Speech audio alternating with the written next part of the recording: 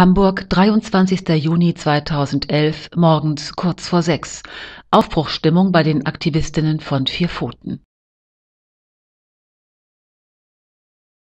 Im Gepäck Hühnerkostüme und jede Menge Informationsmaterial zum Thema Kleingruppenhaltung von Legehennen.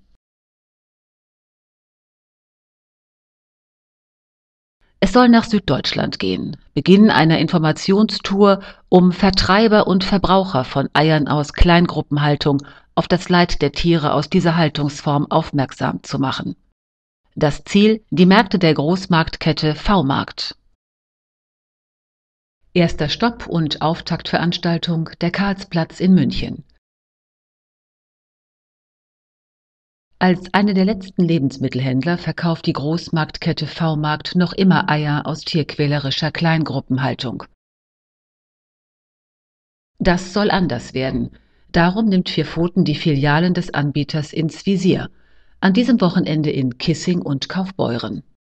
Die Forderung der Tierschützer, V-Markt soll den Verkauf von Eiern aus Kleingruppenhaltung endlich stoppen.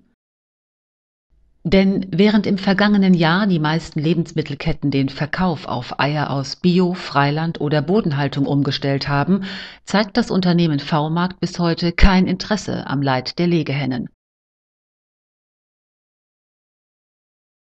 An Infoständen in München und vor den V-Märkten in Kissing und Kaufbeuren konnten sich Verbraucher über die verschiedenen Haltungsformen von Legehennen informieren.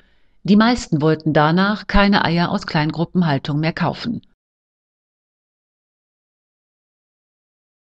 Ein Erfolg für Vier-Pfoten-Kampagnenleiterin Dr. Martina Stefani. Vier Pfoten konnte viele Verbraucher davon überzeugen, ihr Kaufverhalten zu überdenken und ab sofort Eier aus tierquälerischer Kleingruppenhaltung im Regal liegen zu lassen.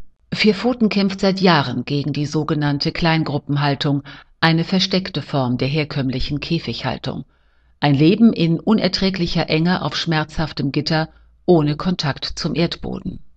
Vier Pfoten wird nicht aufhören, gegen den Verkauf von Eiern aus derart tierquälerischer Haltung vorzugehen, solange bis auch das letzte Ei aus Kleingruppenhaltung aus den Regalen bei V-Markt verschwunden ist.